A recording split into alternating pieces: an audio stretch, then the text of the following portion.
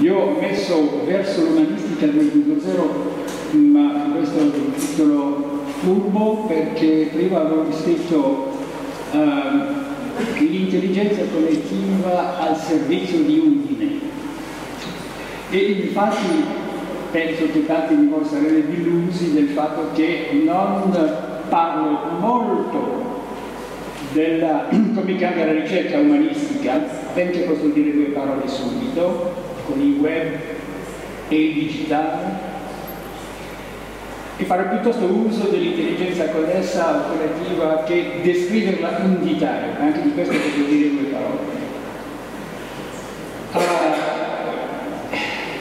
la, il web e il digitale stanno cambiando enormemente non solo diciamo, eh, la ricerca umanistica, ma infatti tutte le forme di conoscenza oggi, siamo in situazione cognitiva come mai prima. Specificamente diciamo sulla ricerca, chiaramente oggi Wikipedia è un modello, Google è un modello, i giornali online sono modelli, sono una quantità di modelli di ricerca oggi che fa che oggi il problema dell'università o quello della scuola, e ne ritorno su questa domanda, è di insegnare ai ragazzi di fare domande e non di dare risposte. Fondamentale questo. La ricerca comincia lì e infatti i ragazzi non aspettano i loro professori per fare le domande, imparanno di farlo da se stessi, questo è fondamentale. Chiaramente oggi abbiamo una, un nuovo partner, Walter Wells, che è eh, al servizio della ricerca e non è ancora veramente diciamo, usato, che si chiama Big Data. Big Data è una fonte fenomenale di informazioni potenziali. Di nuovo richiede domande, non risposte. Big Data è un sistema dove la risposta non esiste in assoluto prima che è fatta la domanda. Allora che nella storia dell'archivio, poi anche di non archivio, semplicemente la mente di quello che sa, c'era qualche parte la risposta. Adesso siamo in un mondo dove la risposta dipende in assoluto all'innovazione della domanda. Allora, su posso dire che sull'intelligenza eh, connettiva mi sembra naturalmente una delle conseguenze della messa in rete non solo delle cose ma anche della gente. E messa in rete in modi talmente diversi con piattaforme talmente precise, talmente specifiche che creano le loro culture. E infatti un po' questo che volevo far vedere sulla problematica specifica di Udine. Allora, dove Udine? Questo è un, un scopo di 2012, ma vale anche più o meno eh, adesso, della cosiddetta smart city e del benessere. Allora a sinistra in alto sono le città che sono più smart e, e a destra c'è quello che sono più vivibili. E vedete che non è mal spostato, qua scusate, vogliamo dire eh, sì. Eccola. Allora, che vuol dire? Vuol dire che Udine è esattamente una città vivibile. Ci vengo spesso, l'amo molto, veramente la conosco sempre un po' meglio, la sento bene, è una città molto vivibile e certamente smart.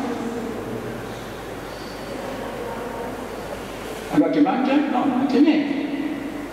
perché non è come Bologna? Questo è il problema come si sa le città italiane hanno tendenza a competere tra di loro. Bene, allora io sono a pensare a questo. Non è, è un problema di cultura come vincere nella cultura digitale. Il problema di cultura tecnologicamente e per l'attrezzatura Udine è perfettamente a posto. Iniziativa contributo culturale come questa, come quella del Future Forum, no, c'è a Udine una presenza della cultura digitale senz'altro e una certa continuità. Però ieri sono stato nella discussione alla Camera di Commercio con varie persone decidori della città e l'assessore l'assessore all'innovazione ha detto che manca la massa critica, che veramente perché Udine torna, diciamo, manca la massa critica e l'idea è come ottenerla. Eppure come nel suo passato il ministro aveva un'idea della città, questa è un'idea che ha circolato ieri, molto interessante, come avere un'idea della città.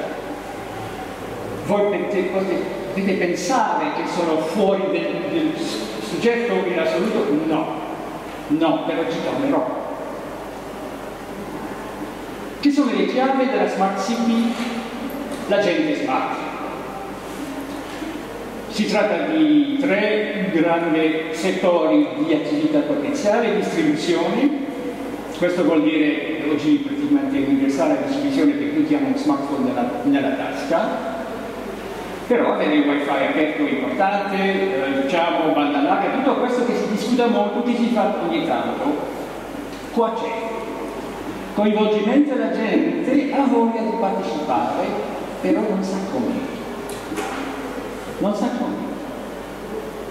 E questo è il problema della transcultura. L'intelligenza cognitiva è più persone, ma sono persone, sono individui, non sono una cultura di massa L'intelligenza collettiva è l'interscambio tra la gente sul, nell'immediato di Twitter o sul lungo termine di Deculon. Creare comunità, questo è fondamentale. E per questo che vorrei proporre il modello di transmedia. E vedrai che transmedia è capace precisamente di arrivare a una ricerca umanistica, però dovete usare le vostre immaginazioni.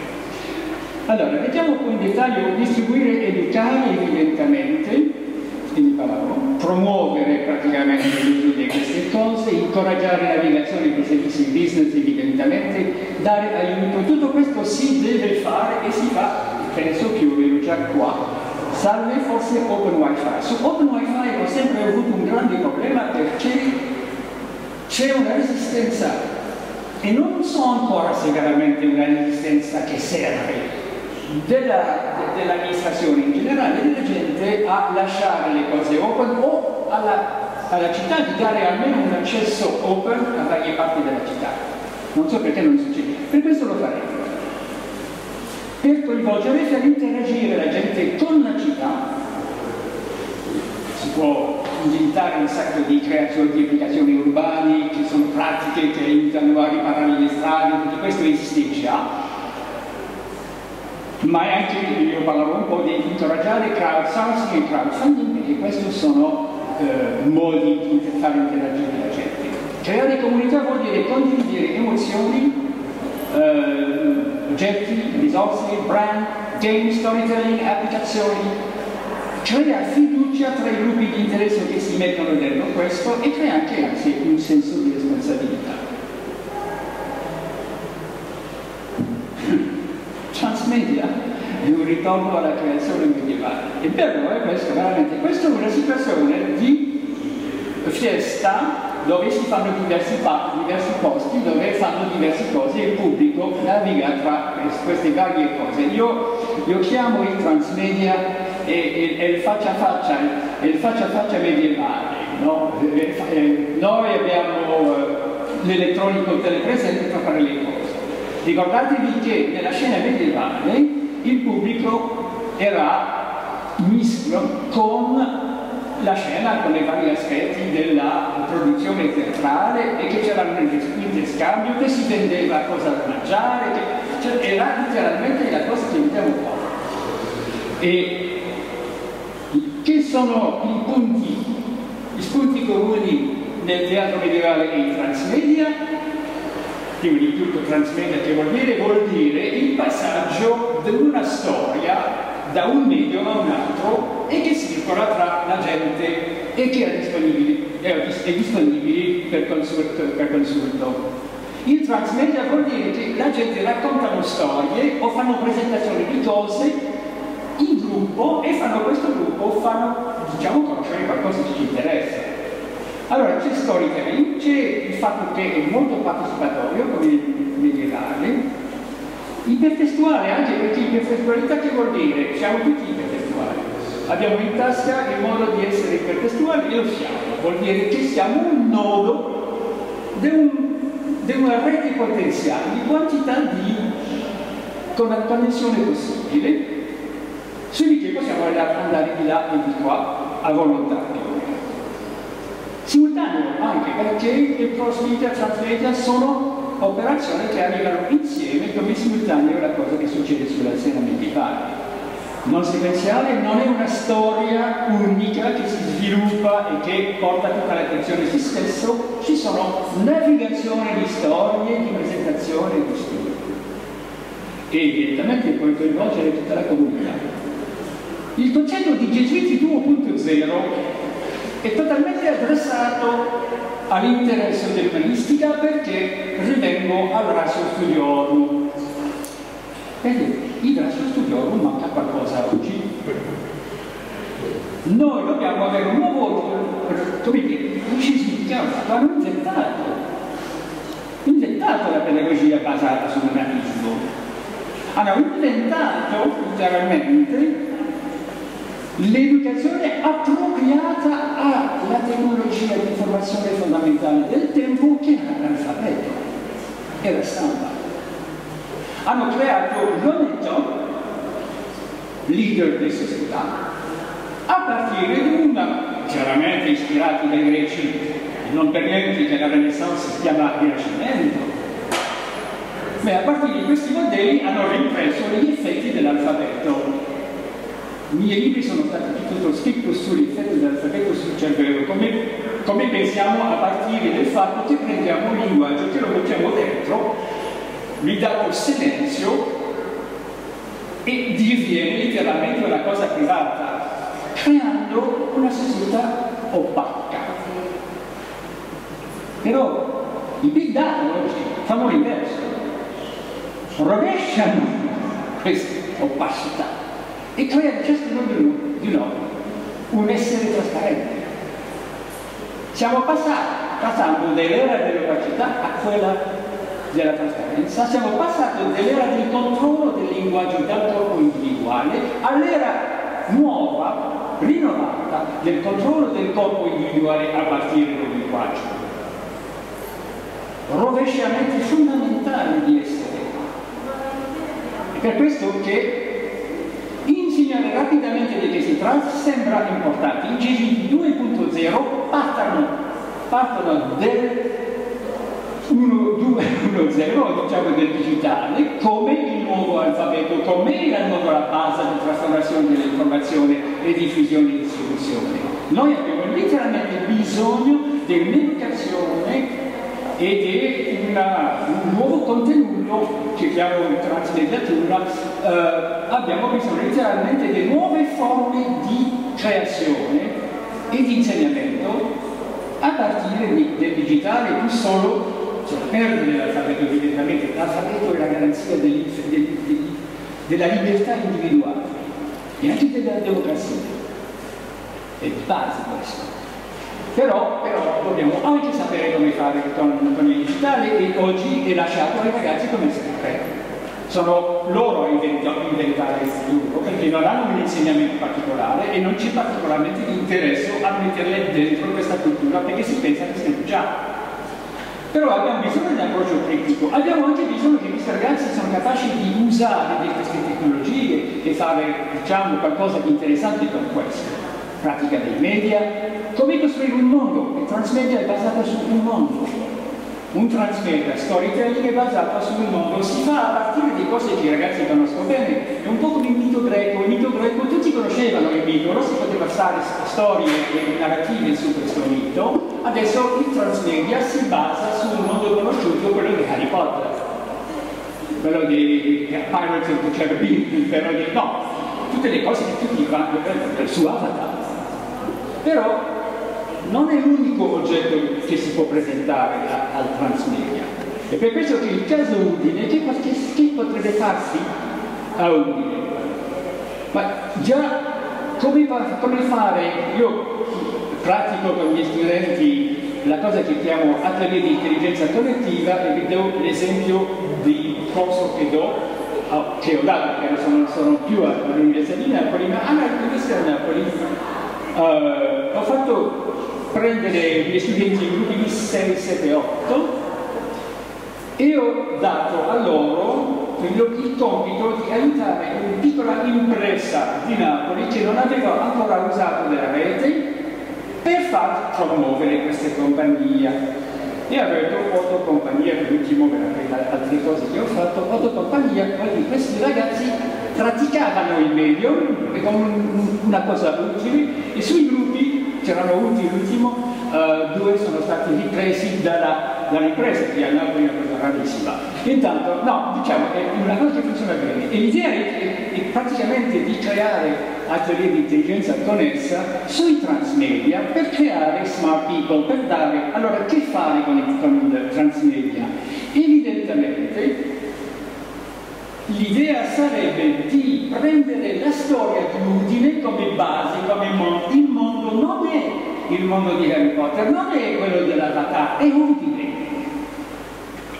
E la storia di Udine ha livelli e livelli e livelli di archivi e livelli e livelli e livelli di potenzialità e personaggi famosi. Sappi? Alessandro Sappi? Antonio Sappi? Quello è, io sono, ho preso la fotografia, io adesso sto, sto letteralmente circolando nella città per vedere dove sono i testimoni a partire di che possiamo cominciare una storia.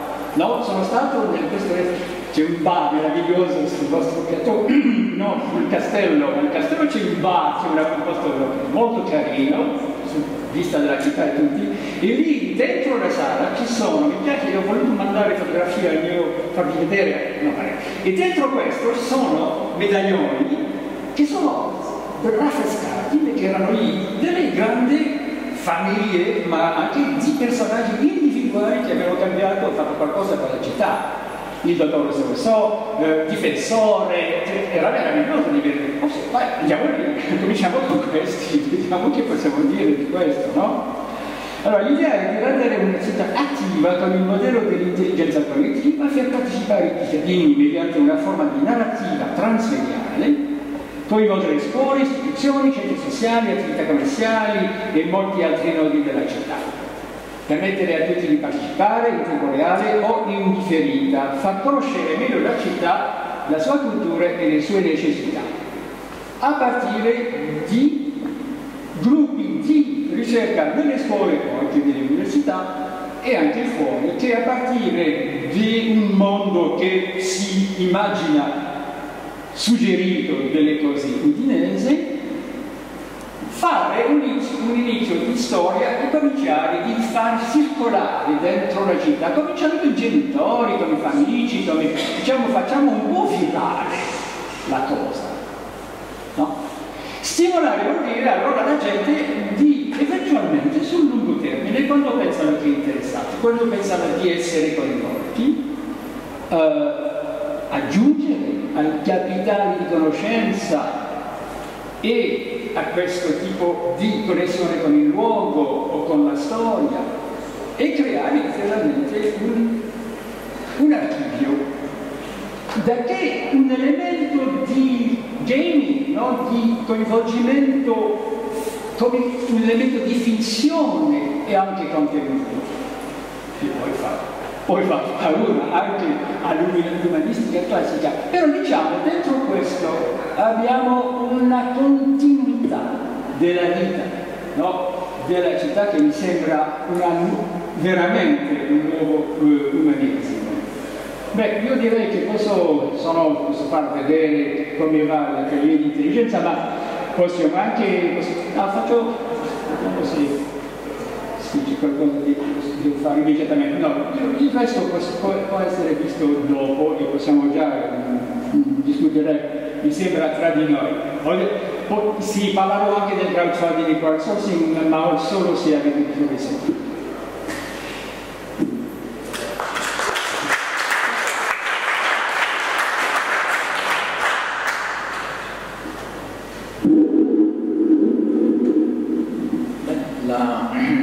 il percorso che ci hai,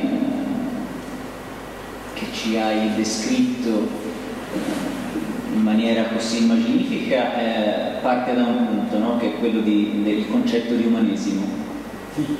Il concetto di umanesimo relativamente non solo al, all'elemento culturale ma anche alla comunità che intorno a questo concetto si dovrebbe addensare per favorire che cosa? La, quella che tu hai definito giustamente il, eh, il coinvolgimento al fine di creare l'engagement per tutti quei servizi e quei processi che descrivevi, la gamification e tutte queste cose che possono rendere una città, un ambiente, una comunità smart e interattiva. Ora io mi chiedo se eh, nel processo che eh, ci porta a riflettere su questi tre pilastri, la distribuzione, che non sembra essere in discussione perché oggi ce lo diciamo quotidianamente, il problema tecnologico è di dare un senso alla tecnologia, non di aver bisogno di tecnologia nuova.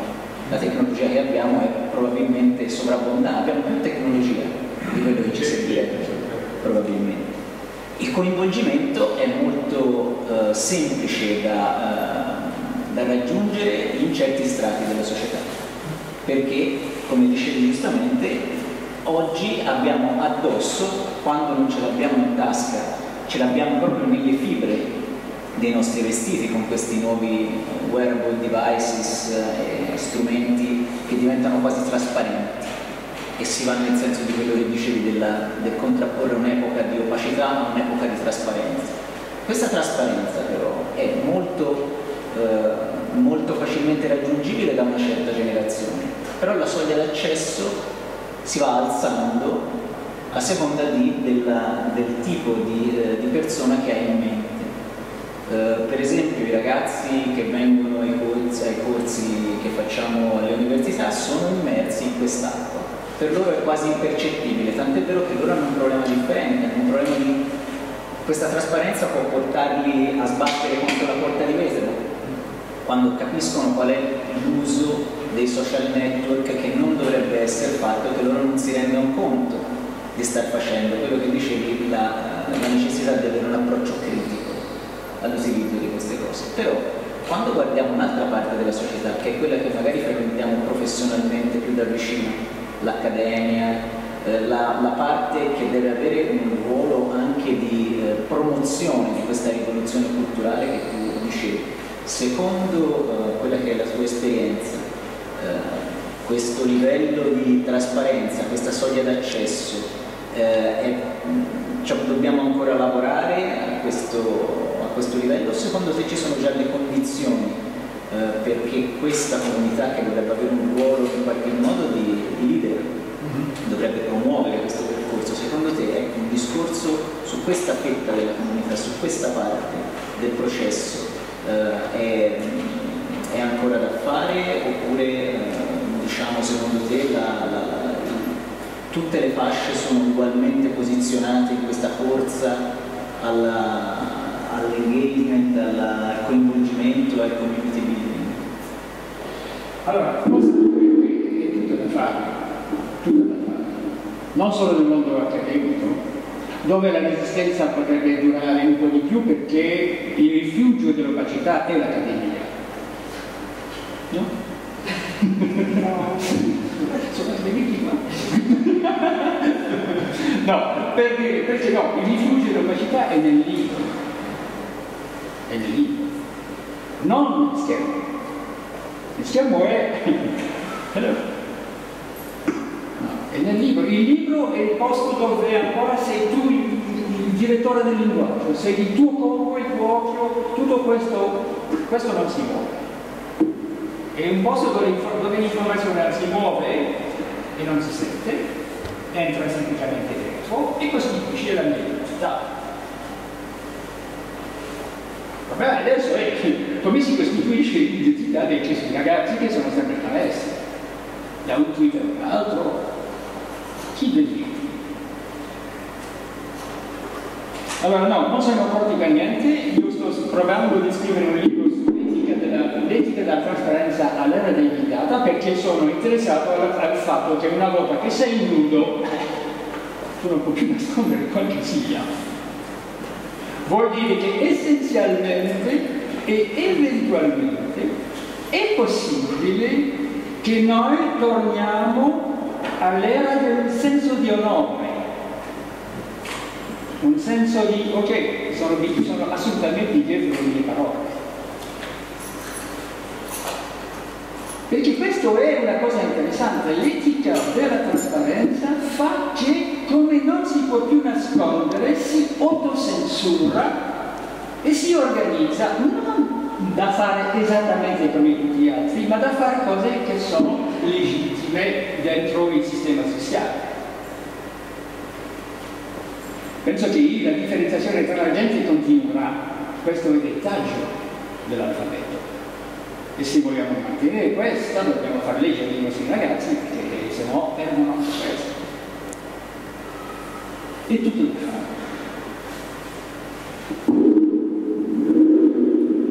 Sempre andando avanti, sottolineando alcune delle parole chiave che ha inserito in, queste, in questo racconto.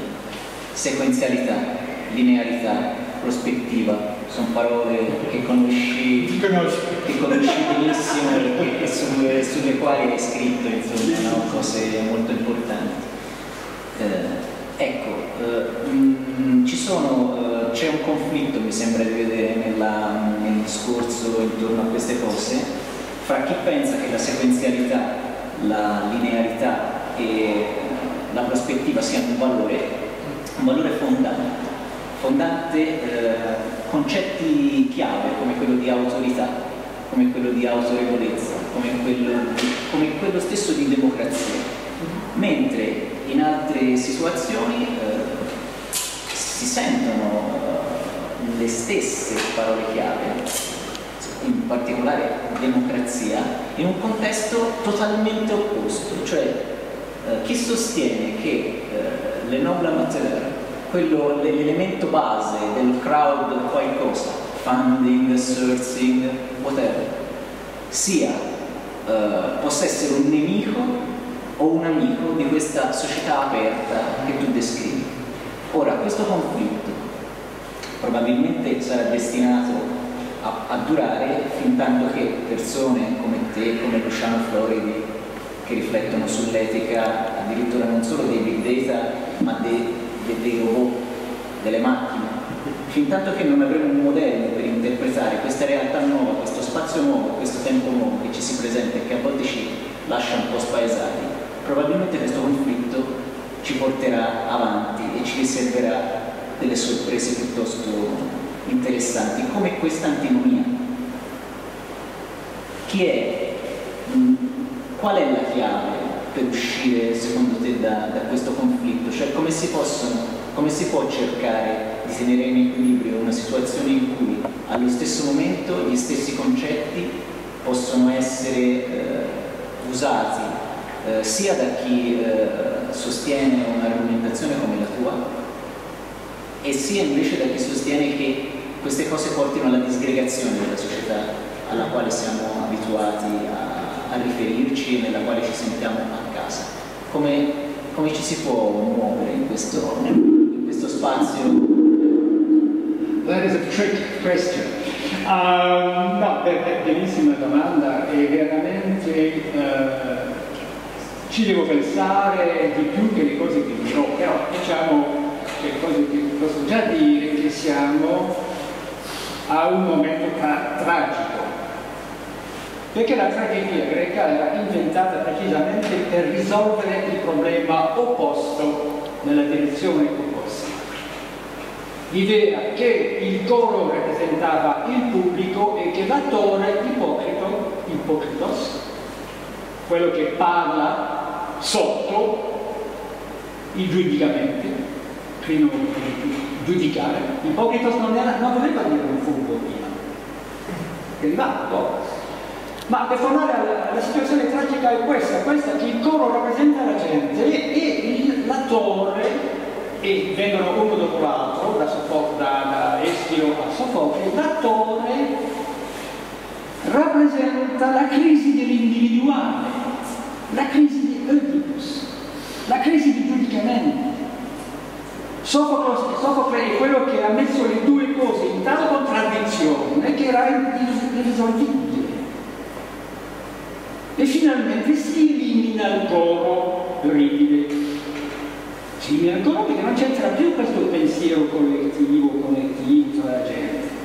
Adesso diviene Passiamo al dramma, come diceva già Nietzsche. Passiamo al dramma perché adesso non è un problema di grandi personaggi, un problema di tutti. Come diceva Nietzsche, vengono sulla, vengono sulla palcoscena, il pubblico viene sul palcoscenico. Allora oggi siamo nella situazione inversa, stiamo passando dall'opacità, l'individualità, l'autorità personale, tutto questo, l'identità privata, no? Privacy is over No? Per passare di questo a una situazione dentro di che eh, noi ritroviamo mm, la comunità.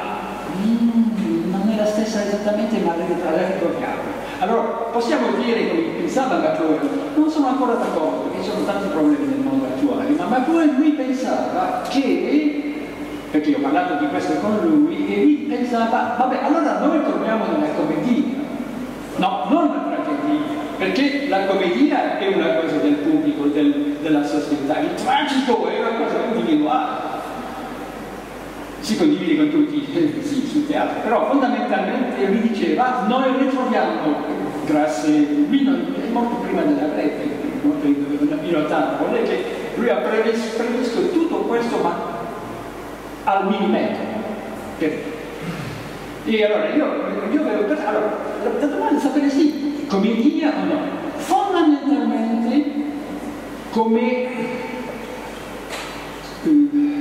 cioè, ricercatore cognitivo, posso, posso, letteralmente scrivere sulla mia carta di visita ricercatore cognitivo, perché la prima ossessione per me è di sapere come cambiare il pensiero, per dire. E perché sono al lavoro ogni giorno sulla domanda, non posso ancora descrivere che sarà che già è il pensiero virale, eh, l'associazione particolari, la lunga coda, come diceva Chris Anderson, questi, questi gruppini che arrivano no, a, a, conoscersi attraverso le loro specificazioni. Per dire, l'umanistica è assolutamente parte della lunga coda e con grandi quantità di piccole unità. Allora, non so ancora descrivere, mi piacerebbe tanto, ma non posso ancora descrivere bene questo cambiamento che contiene ancora il ricordo del passato privato.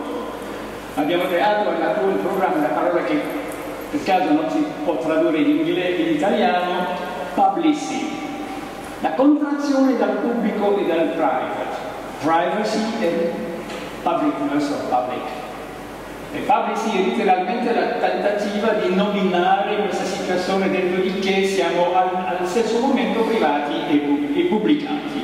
Pubblicata, un'altra cosa da dire sulla ricerca umanistica, oggi la pubblicazione si fa molto più veloce che nel passato, e questo può fare problema a quelli che sono ricercatori particolari perché la verifica deve venire così veloce che la pubblicazione e quando la specializzazione va oltre la verificazione prende più tempo. Allora, sappiamo che la lentezza del, della pubblicazione professionale fa parte della, diciamo, del fatto che quando tutto va alla velocità della luce non è male di avere alcuni rallentatori perché questo è. Questo rallenta questo è stato un acceleratore di intelligenza fenomenale dal Medioevo, dalla, dalla stampa, fenomenale, no? Adesso è tornato l'inverso, è tornato il rallentatore della cognizione e della conoscenza, rallentatore necessario, anche forse l'università su questo piano. E continua a dire la sua necessità. La cosa che direi è che GTT 2.0 non fare tutti i corsi a poi questi poveri ragazzi faccia a faccia, possono fare un sacco tra di loro, ma il faccia a faccia continua ad essere importante. Quindi l'università deve continuare di rappresentare il punto di incontro tra la gente, ogni tanto riaffrescato, ma lasciare questi ragazzi fare i soldi se possono perché chiaramente sono morti di fame. E questo, ma queste sono le tre idee, rispondo male alla tua domanda. Assolutamente no, per tornare un po' al punto che anche eh, gli organizzatori ci hanno consegnato no, come oggetto di discussione, quello di eh, come cambia la ricerca e come ricerca si struttura in un ambiente di rete, perché poi stiamo parlando che si immagini la rete delle reti, quindi internet o altri tipi di rete che sono tipici della nostra interazione in questi, in questi tempi, di sicuro quello che non ci sfugge è che, come dicevi giustamente, la velocità è cambiata. E io ricordo che in un tuo libro, La pelle della cultura, c'è un esempio di come cambia la percezione delle informazioni eh, in un individuo al crescere degli stimoli che gli vengono presentati. E mi sembra che l'esempio riguardasse la televisione all'epoca e fondamentalmente si diceva che all'aumentare degli stimoli si perdeva la capacità di chiusura orientata. La chiusura orientata è una risposta razionale allo stimolo che arrivava. Quindi si rispondeva di, eh, non di corteccia, ma di eh, cervelletto, col, col, col, col, sistema nervoso, senza scomodare il cervello. Questo è un elemento che mh, mm, non è del tutto, diciamo, uh, non è del tutto uh, assente anche da una certa cultura letteraria ottocentesca e novecentesca, penso per esempio a Simmel con la metropoli, la vita dello spirito, che diceva eh, una cosa molto simile. La vita nelle metropoli ce lo stringe a incontrarsi con un sacco di persone e più sono le persone che incontriamo e più i rapporti diventano, si annacquano e quindi le interazioni diventano, uh, diventano incapaci di sostenere quel peso eh, che dovrebbero sostenere. Allora io mi chiedo, siamo in una situazione in cui la rete sta crescendo a dismisura, in cui la velocità che collega i nodi anch'essa sta crescendo a dismisura. Ce la farà questa rete a sostenere il peso della ricerca per come ce la, come ce la immaginiamo? Tu dici, l'università non deve cambiare la sua missione. No, sono d'accordo continuo a essere d'accordo con questa idea. Come, eh, appunto dico, come, mh, come possiamo rendere questa situazione di crescita esponenziale dei nodi della rete e della velocità che li collega, adatta alle specifiche esigenze del sapere in termini di qualità, di verificabilità, di sostenibilità, perché finora abbiamo fatto i conti senza un parametro, che è il parametro economico, perché sia in Italia che in Europa tutte le politiche della ricerca in qualche modo sono sottoposte all'elemento sostenibilità che si tratti di conservare i dati della ricerca, di utilizzarli in maniera innovativa, si richiede sempre un programma di sostenibilità. Ecco, questa crescita che sembra non aver fine, come si concilia con la necessità di dare sostenibilità alle cose che si fanno? Beh, io direi una domanda abbastanza pratica eh, e che tocca il mio, il mio senso pratico. Um, non vedo grande problema nel storage, l'archivio. No? Eh, noi stiamo parlando di zettabyte e altre cose, non, stiamo anche parlando di una cosa che sembra infantile adesso, ma finalmente si farà e avrà anche dire, un valore delle cose che abbiamo discusso e che si chiama il lifelog.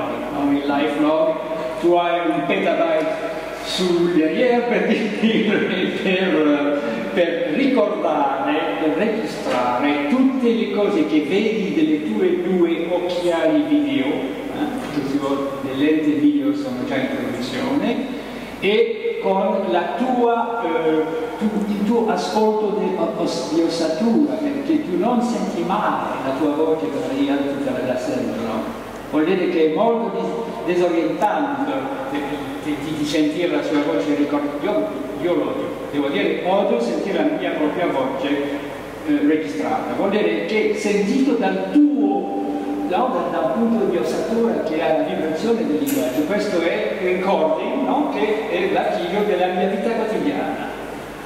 No, immagino che la gente possa incontrarsi in un modo romanesco, no? Tu vuoi conoscere i più belli momenti della mia vita? Ecco, se lo passo. Sono registrati, prendi la tua macchina e fa giocare. No, eh, questo è, evidentemente non è un problema di storage, non è più un problema di recupero neanche. Su di questo Macron diceva una cosa assolutamente fenomenale, veramente importante. Mi diceva che tra gli effetti del prossimo medium, e lui aveva già l'idea più o meno che si trattava del computer, dice tra gli effetti del prossimo medium renderà obsoleto l'organizzazione della biblioteca. A bell? Come, come, come, si come ha potuto dire una cosa? Lui conosceva già il tag. E che vuol dire il tag? Il tag è l'indirizzo individuale, ciascuno i pezzi di informazione che permette di recuperarla. Vuol dire che se tu sai connessere il tag della domanda con il tag della risposta, l'hai fatto, non hai più bisogno di organizzare qualche tipo di, di dire, struttura della biblioteca, che non sto condannando, eh? Per niente, continuiamo la nostra biblioteca esattamente come dico, continuiamo a leggere su carta, però nessuno mi, mi ascolterà su questo. No, per dire questo, perché eh, la rendere obsoleto la classificazione della biblioteca in giuridecimali.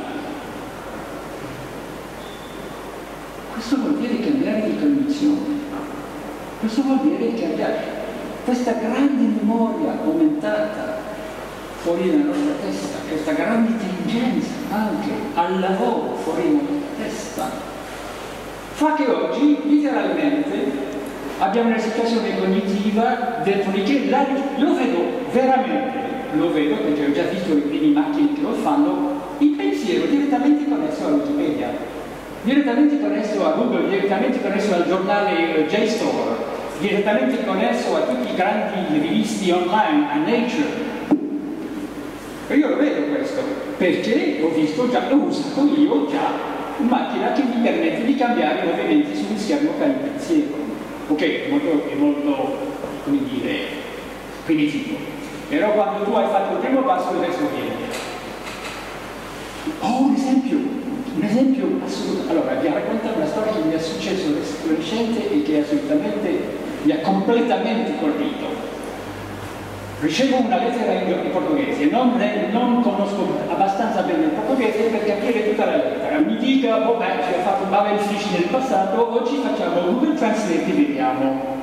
Una grande lettera così grande, io trovo la cosa tradotta in inglese, leggo la traduzione e al mio stupore erano due o tre posti non gravi di sbaglio di senso, ma il resto non solo era perfettamente detto coerente, ma anche con espressioni colloquiali.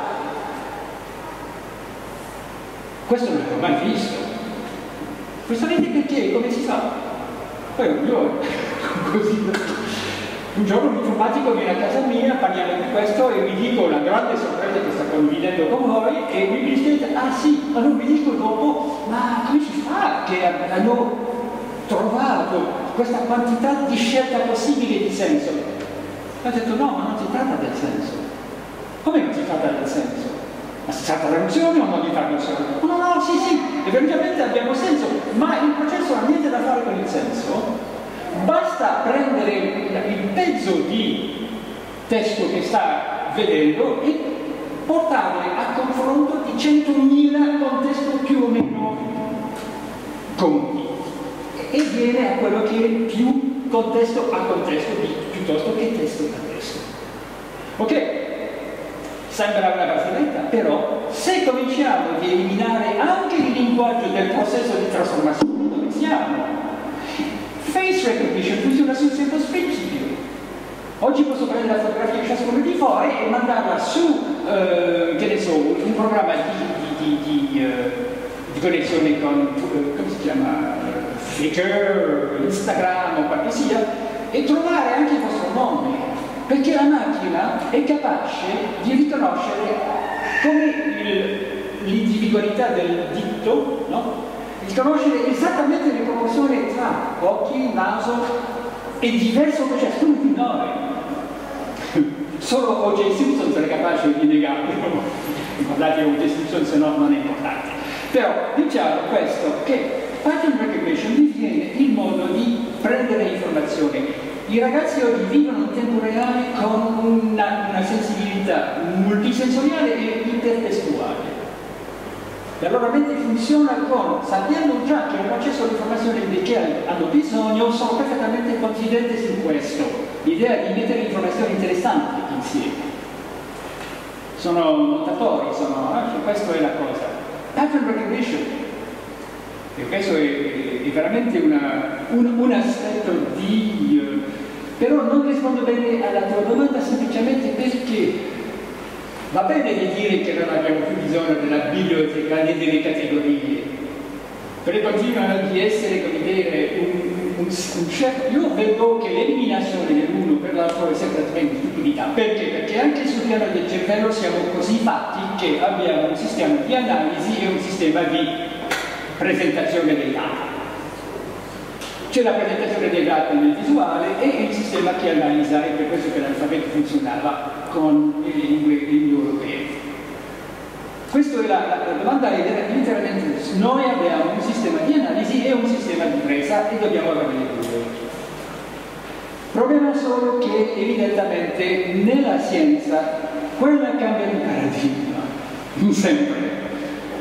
E le certezze di ieri divengono incertezza di oggi, quando le, le incertezze precedenti rivengono certezze oggi. Siamo a recuperare oggi una sensibilità transscientifica che non può ignorare la scienza, ma deve andare oltre e va oltre. In qualche direzione che sia, va oltre la scienza. Oggi dobbiamo andare oltre la scienza. Ecco, questo mi fa pensare quello di cui parlavamo venendo qua, il famoso dibattito sull'esistenza vera o presunta delle due culture, no? Mm-hmm. Parte da, da, Charles Snow, eh, ripreso in Italia da, da Giulio Preti, e poi continua fino a Jay Gould che fino a un paio d'anni fa, eh, anzi è stato pubblicato nel 2012 un libro postumo sull'inconsistenza di questo modello delle, delle due culture. Mi viene in mente, primo perché è un punto fermo del rapporto che c'è tra la cultura umanistica e la ricerca in ambito umanistico e l'evoluzione tecnologica, che non viene fatta in parallelo, ma viene in qualche modo subita in ambito umanistico, perché non siamo mai parte dei processi, ma siamo utilizzatori dei prodotti, prodotti che hanno pensato in larga parte altri. Ma non è solo questo il punto. Il punto è anche quello che mm, una parte della ricerca umanistica eh, ha una soglia d'accesso alla tecnologia ancora abbastanza bassa, perché si tratta di utilizzare dei prodotti che sono alla portata di tutti. C'è una parte della ricerca, penso per esempio alla, agli storici dell'arte, eh, che eh, è fondata sull'utilizzo di macchine molto complesse che non sono alla portata eh, dell'utente di tutti i giorni come lo può essere, parlavamo di Hadoop o di un programma per l'analisi dei big data o per l'analisi statistica delle correlazioni o per l'utilizzo delle folksonomie al posto delle tassonomie.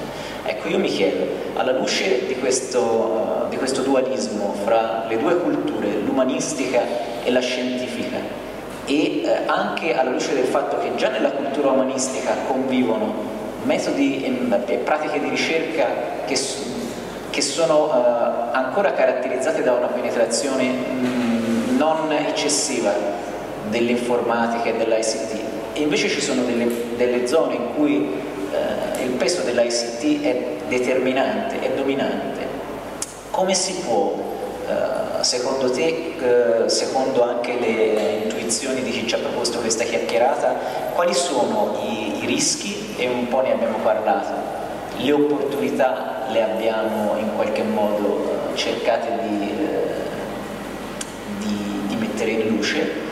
Sui costi non credo che sia il caso di, che ci diffondiamo noi perché sono, sono, questioni forse un po' al di fuori di questo, di questo nostro incontro, però soprattutto rischi e opportunità di questa convivenza che a volte è forzata e che molto spesso non è tenuta nella debita considerazione anche da chi fa le politiche.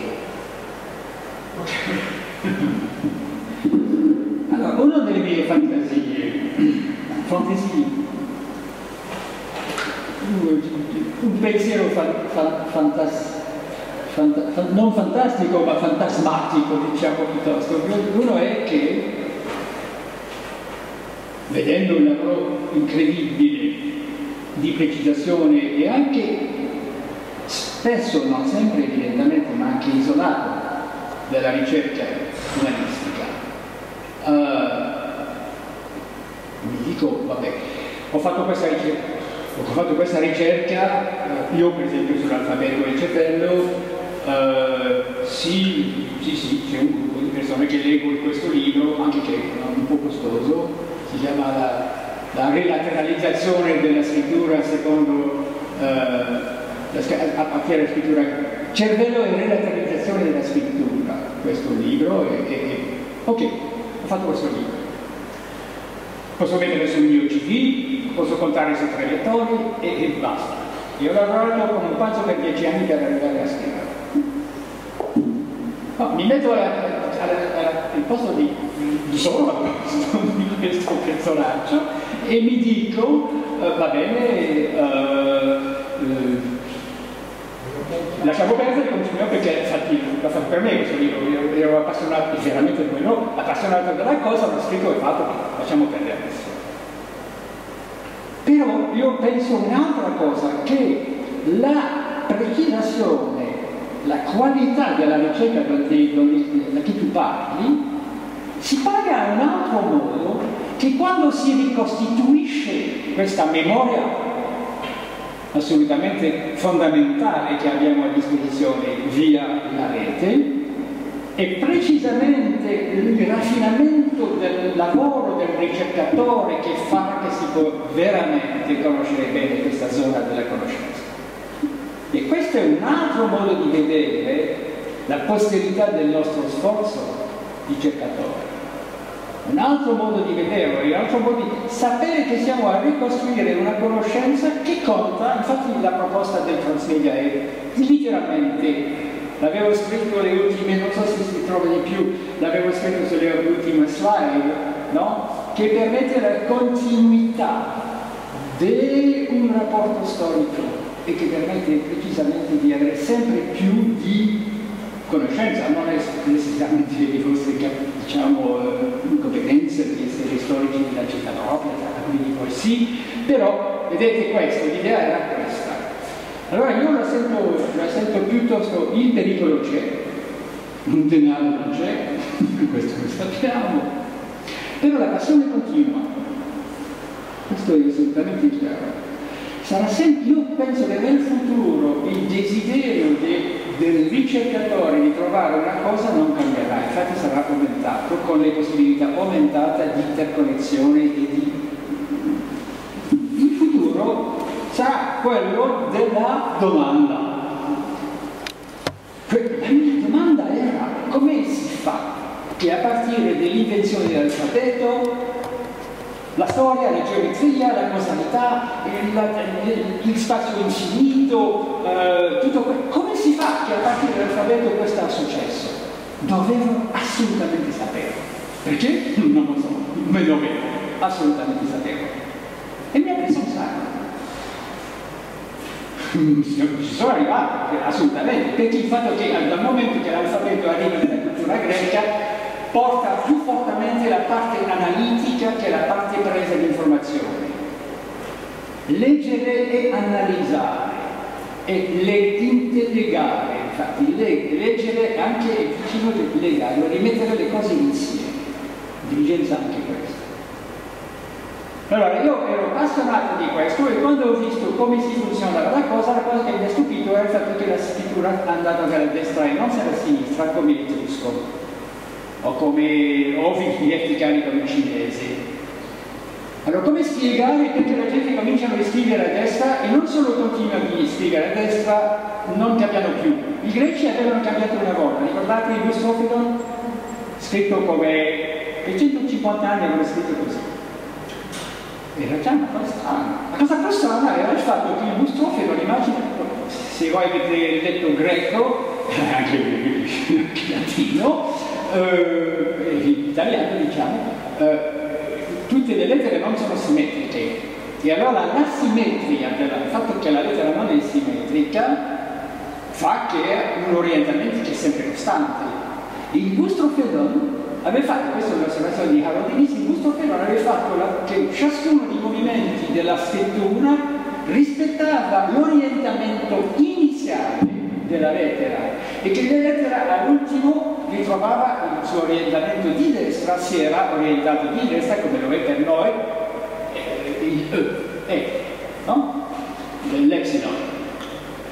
E allora a partire di questo ho visto che c'era qualcosa, c'era nel Bustrofedon un, una chiamata del, della continuità, della linearità, una continuità che dipendeva dall'oralità, perché la lettera non era scritta la lettura silenziosa comincia nel VII secolo d.C. Vuol dire che per arrivare no, a questo livello di continuità la, la lettura era sem semplicemente un ed parole, non è memoria, non è parole.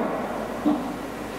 Allora, però, però il problema viene dal fatto che a un momento la scrittura diviene come dire, si forma sui muri e ci sono una serie di trasformazioni. Il Cristo Fedon è abbandonato dopo 150 anni, un nuovo stile arriva che rispetta anche la verticalità e l'orizzontalità della presentazione delle lettere, che obbliga infatti a rimettere spazi tra le parole e a rimettere la puntuazione che era nel modello etrusco sono tanti gli tagli che vi, che che vi, lascio però eh, l'idea è questa che una volta che domina il sistema di analisi sul sistema di eh, presa, data diciamo, domina il cervello di sinistra su, sul movimento, su diciamo, le priorità da dare alle strategie cognitive che la mente pratica per la lettura e evidentemente di fare la differenza tra le parole e di fare la continuità regolare fa che il, il stoichedon è stato inventato per, per, scrivere sempre nella stessa direzione e abbandonare la continuità del bustrochedon a che punto si fa già la trasformazione della mente a partire da questo e si fa la linearità come la cosa più importante. Un esempio l'invenzione della storia, del narrativo, viene con il mito delle tre pacche. Le tre pacche sono Croto che tira il figlio, la Chesis che lo misura e Atropos che lo taglia. Vuol dire la narrazione beginning, middle and end. E si inserisce dentro la nostra cultura greco-romana e dopo occidentale questa priorità della linearità, della distanza, della prospettiva, tutto questo di cui abbiamo parlato due minuti fa. Allora la domanda è, all'era della realtà virtuale, quando noi siamo con il nostro Google no, Oculus Rift vedendo in modo tridimensionale, che diviene questo inserimento del nostro essere dentro lo spazio che stiamo guardando invece di essere osservatore con vista? Beh, vedete, tutto questo viene di una passione che non si ritroverà sempre, si ritroverà sempre, perché sono un sacco di possibilità e si vede anche, sono ragazzi che sono brillantissimi a inventare applicazioni, sistemi, altre cose, non tutti però. I ricercatori vengono di questo stock